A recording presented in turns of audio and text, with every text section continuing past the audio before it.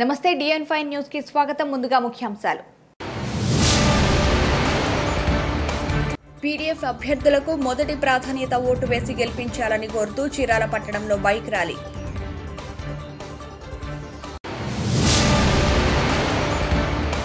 MLC ఎన్నికల్లో PDF అభ్యర్థుల గెలుపు కోరుతూ ప్రజా సంఘాల ఆధ్వర్యంలో విస్తృత ప్రచారం.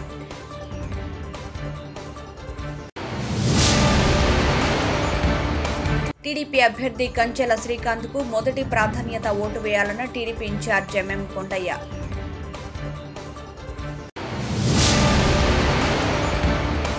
ఎమ్మెల్సీ ఎన్నికల్లో స్వతంత్ర అభ్యర్థి నీలం శామ్యుల్ విస్తృత ప్రచారం.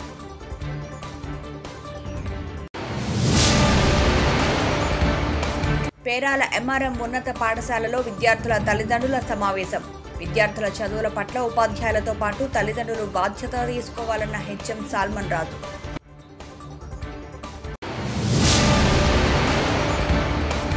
రోటరీ క్లబ్ ఆధ్వర్యంలో చీరాల మరియమ్మపేట ప్రాథమిక ఆరోగ్య కేంద్రంలో గర్భిణీ మహిళలకు పోషకాహార మందులు పంపిణీ.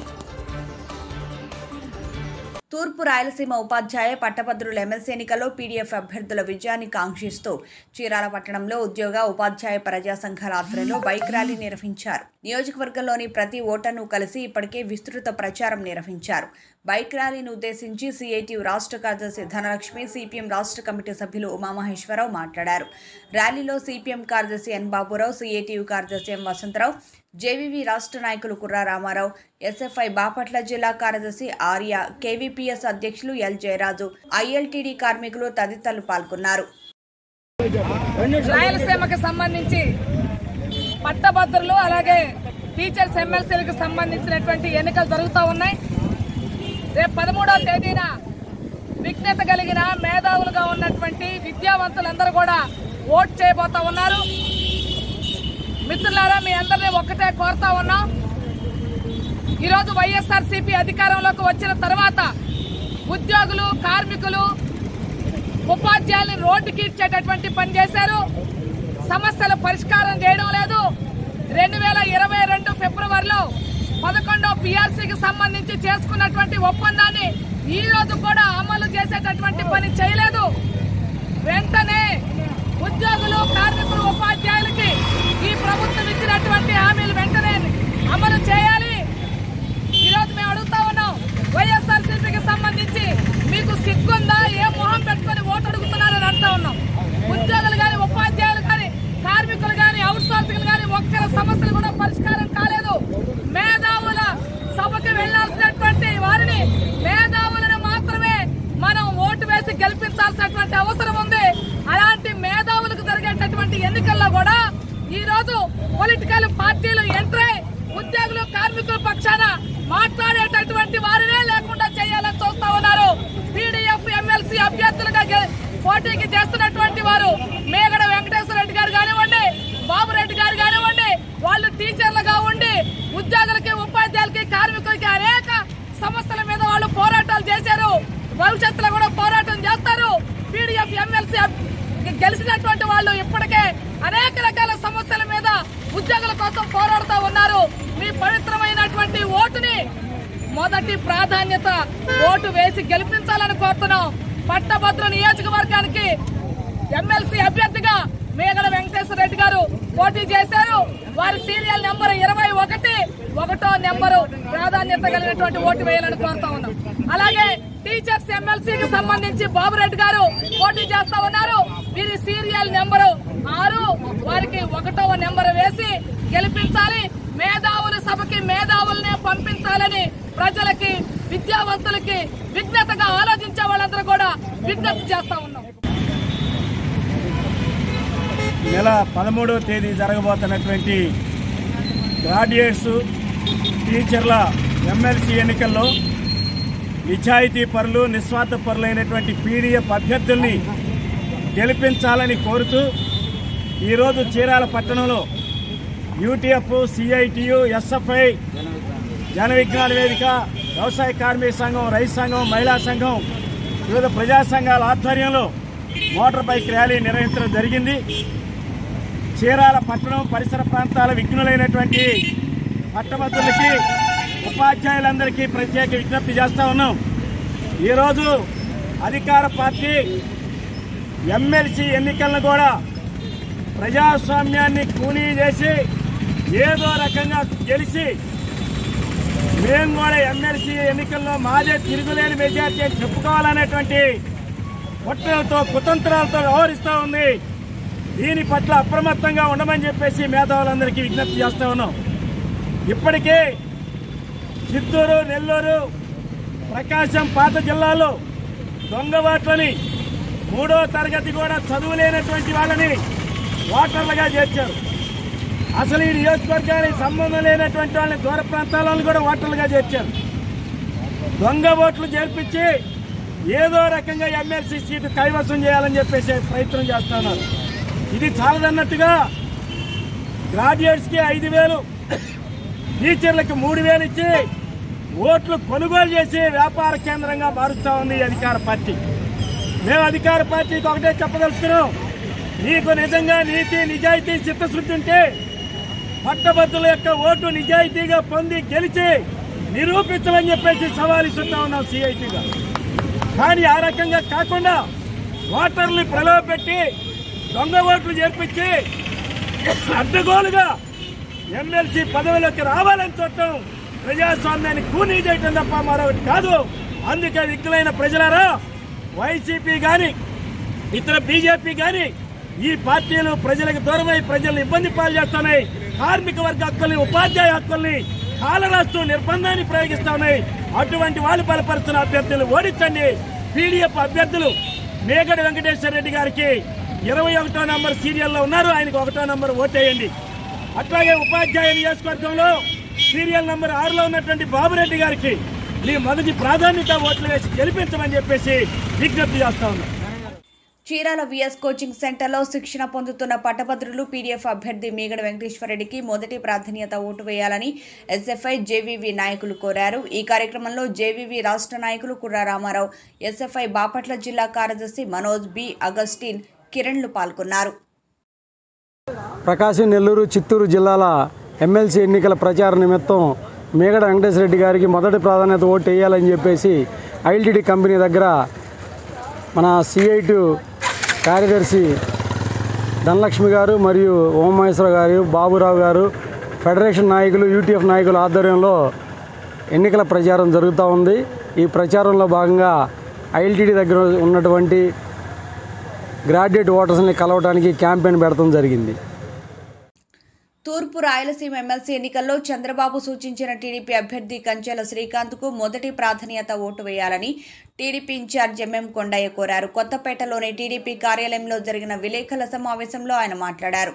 ఈ సమావేశంలో మాజీ జడ్పీటీసీ గుద్దంటి చంద్రమౌళి కొత్తపేట మాజీ ఉప సర్పంచ్ కౌతరపు జనార్దన్ కూరపాటి పూర్ణ పాల్గొన్నారు. బాబు గారు ఎప్పుడైతే మా నాయకుడు ఈ ఎమ్మెల్సీ ఎలక్షన్స్ మీద మొదటి ఫేస్ రెండో ఫేస్ అని చెప్పేసి స్టార్ట్ చేయించారు అప్పటి నుంచి చీరాల్లో మా తెలుగుదేశం పార్టీ కార్యకర్తలు మేము అందరం కూడా కలిసి ప్రతి వార్డుని ప్రతి గ్రామాన్ని ఎక్కడెక్కడ అవకాశం ఉంటే స్కూల్స్ కానీ బ్యాంకులు కానీ హాస్పిటల్స్ కానీ ఏ ఒక్కటి కూడా వదిలిపెట్టకుండా ఈ యొక్క ఎమ్మెల్సీ ఓట్లలో ప్రధానంగా మా వాళ్ళందరూ కూడా ఇప్పటి వరకు కూడా కంటిన్యూగా కష్టపడటం జరిగింది. ఈ సందర్భంగా మాకు అర్థమవుతున్న విషయం ఏంటంటే మా యొక్క అభ్యర్థికి ఎక్కడ చూసినా మా అభ్యర్థి ప్రజల్లోకి రీచ్ అయ్యాడు మంచి పేరు ఉంది. అన్ని దగ్గరలో కూడా ఇతనికి ఇతను ఇచ్చినటువంటి రిజిస్టర్ పోస్టులు కానీ లేదా ఇతను ఇచ్చినటువంటి టెలికాన్ఫరెన్స్ ద్వారా కానీ అన్ని విషయాలు కూడా ప్రజలకు అందినాయి. మరి ఈ రకంగా పెద్ద ఎత్తున ప్రచారం చేసే విషయంలో మా అభ్యర్థి కూడా ముందంజలో ఉన్నాడు.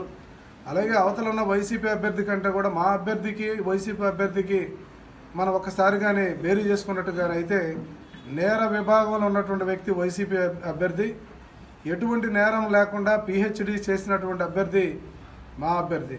మా వాళ్ళు సర్వీస్ చేశారే తప్ప ఎక్కడ నేరానికి ఏ రకమైనటువంటి పరిశోధన ఏది చేసినా సరే నికాలసైనటువంటి వ్యక్తి మా ఎమ్మెల్సీ అని చెప్పి చెప్పడానికి తూర్పు రాయలసీమ అభ్యర్థిగా పోటీ చేసిన దగ్గర నుంచి దాదాపు ముప్పై ఆరు నియోజకవర్గాల్లో ఏ రకంగా కష్టపడుతున్నారో అంతకంటే ఎక్కువగా చీరాల్లో మేము అందరం కూడా కష్టపడి సమాప్తమైంది దాని సందర్భంగా మా ఇన్ఛార్జి కొండయ్య గారు ఆధ్వర్యంలో మరి ఇక్కడ ఏర్పాటు చేసిన ఈ కార్యాలయంలో మరి చీరాల నియోజకవర్గంలో మొట్టమొదటిసారి నుంచి కూడా ఎలక్షన్ ప్రచారం బాగా ముమ్మరంగా చేసి వైసీపీ వాళ్ళకంటే కూడా మేము ముందంజలో ఉండి అందరూ ప్రతి ఓటర్ను కూడా కలుసుకొని అదేవిధంగా మా తెలుగుదేశం పార్టీ బలపరిచిన అభ్యర్థి కంచెర్ల శ్రీకాంత్ గారిని గెలిపించాలని చెప్పేసి కూడా అందరికీ మనవి చేస్తూ అందరూ కూడా ఓటర్లందరూ కూడా బాగానే మేము బలపరిచారని చెప్పేసి కూడా మీ అందరికి మనవి చేస్తూ చిరాలి నియోజకవర్గంలో అత్యధికంగా మెజార్టీ తేగలమని చెప్పేసి కూడా మా ఇన్ఛార్జి ద్వారా మేము మనవి చేసుకుంటాం. వైఫల్యం చెందింది. మరి రానున్న రెండు వేల ఇరవై నాలుగులో మరి తెలుగుదేశం పార్టీ తిరిగి అఖండమైన విజయంతో మరి అన్ని స్థానాలు కూడా కవిసం చేసుకొని తిరిగి ప్రభుత్వాన్ని ఏర్పాటు చేసుకోవాలంటే మీరందరూ కూడా ఈ పట్టభద్రుల నియోజకవర్గ ఎన్నికలే నాందిగా ఉండి మీరందరూ కూడా తెలుగుదేశాన్ని సహకరించాలని కోరుకుంటూ మరి తెలుగుదేశం పార్టీకి అభివృద్ధికి విశేష కృషి చేసిన శ్రీ కంచర్ల శ్రీకాంత్ గారిని అఖండమైన విజయార్థి విజయంతో చేకూర్చాలని మనవి చేసుకుంటూ చీరాల నియోజకవర్గ ప్రజలందరూ కూడా గ్రాడ్యుయేట్ ఎమ్మెల్సీ స్వతంత్ర అభ్యర్థిగా పోటీలో ఉన్న నీలం శామిల్ మోజెస్ తనకు మొదటి ప్రాధాన్యత ఓటు వేసి గెలిపించాలని ప్రచారం నిర్వహించారు. విజయనగరం కాలనీలో ఇంటింటికి తిరిగి గ్రాడ్యుయేట్ ఓటర్ల మద్దతు కోరారు. నిరుద్యోగుల సమస్యలను మండలిలో చర్చిస్తానని చెప్పారు. రాష్ట్రంలో ఉపాధి అవకాశాలు లేక డిగ్రీలు చదువుకొని నిరుద్యోగులుగా చాలామంది ఉన్నారన్నారు. ఆయన వెంట కోటి ఆనంద్ బాబు ఉన్నారు. పట్టభద్రుల ఎమ్మెల్సీ నియోజకవర్గంలో చీరాల్లో విజయనగర కాలనీలో మేము పర్యటిస్తున్నాం. ఇక్కడ గ్రాడ్యుయేట్స్ చాలామంది ఉన్నారు. వాళ్ళల్లో నూట నలభై తొమ్మిది మందికి ఓటు హక్కు కలిగి ఉన్నారు. వీలైనంత వరకు అందరినీ కలిసాం అందరికీ రిక్వెస్ట్ చేసాం కాంటెంపరీ ప్రాబ్లమ్స్ ఏవైతే ఉన్నాయో వాటన్నిటి కూడా ప్రస్తావించాలంటే మన తరపున మన సమస్యల తరపు సమస్యలు తెలిసిన ఒక మనిషి కౌన్సిల్లో ఉంటే మన సమస్యలు పరిష్కారం అవుతాయి.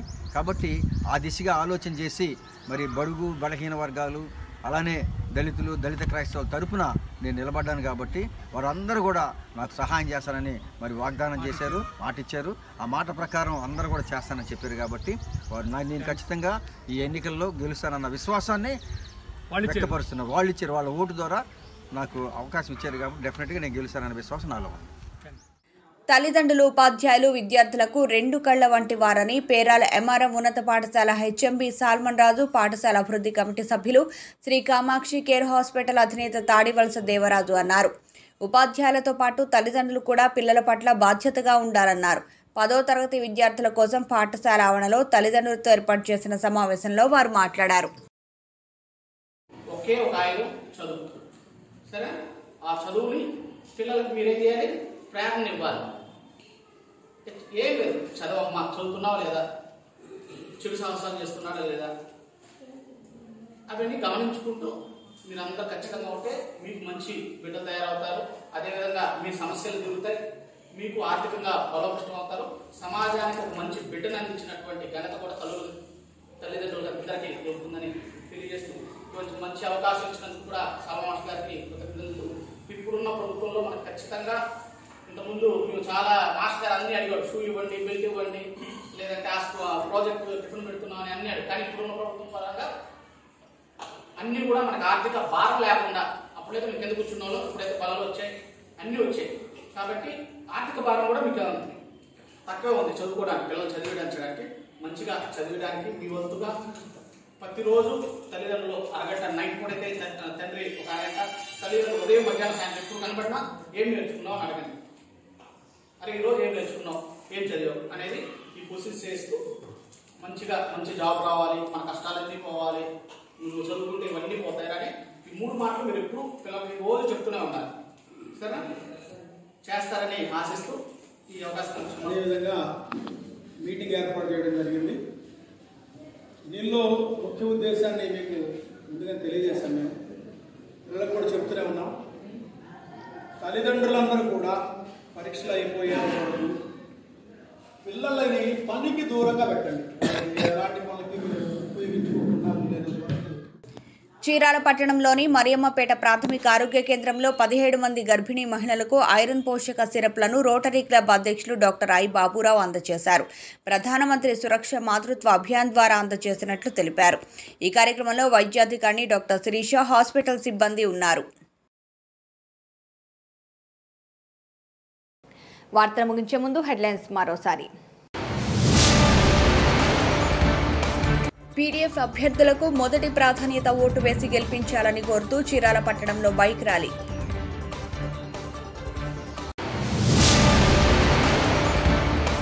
ఎమ్మెల్సీ ఎన్నికల్లో పీడీఎఫ్ అభ్యర్థుల గెలుపు కోరుతూ ప్రజా సంఘాల ఆధ్వర్యంలో విస్తృత ప్రచారం.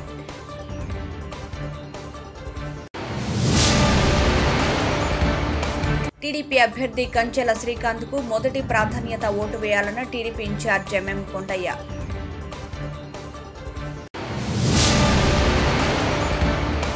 ఎమ్మెల్సీ ఎన్నికల్లో స్వతంత్ర అభ్యర్థి నీలం శామ్యుల్ విస్తృత ప్రచారం.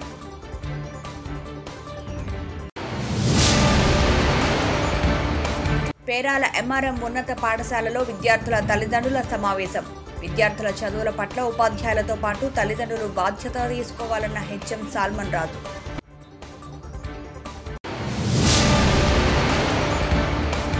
రోటరీ క్లబ్ ఆధ్వర్యంలో చీరాల మరియమ్మపేట ప్రాథమిక ఆరోగ్య కేంద్రంలో గర్భిణీ మహిళలకు పోషకాహార మందులు పంపిణీ. ఇవి బులెటిన్ విశేషాలు. మరో బులెటిన్లో మళ్ళీ కలుద్దాం. చూస్తూనే ఉండండి డిఎన్ ఫైవ్ న్యూస్.